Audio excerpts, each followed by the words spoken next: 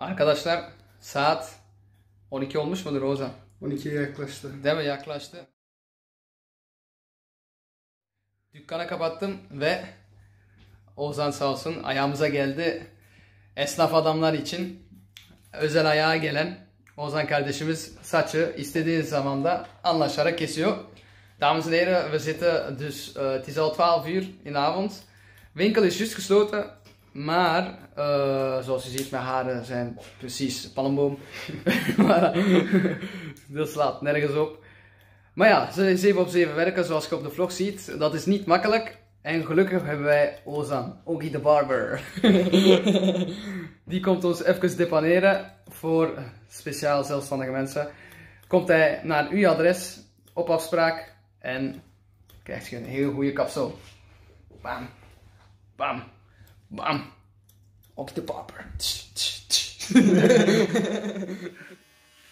Yarın çıkalım.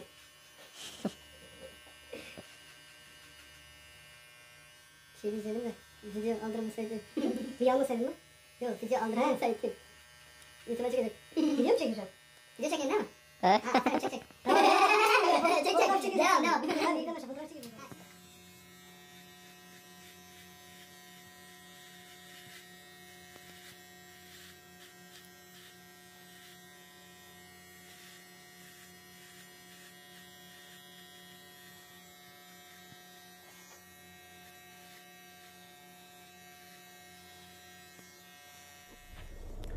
Dus wat zeggen we? Dankjewel Ogi de Barber. Bam! We zijn weer helemaal fris, helemaal vers. Ik kon al twee, drie weken niet naar de kapper. Zit helemaal vol.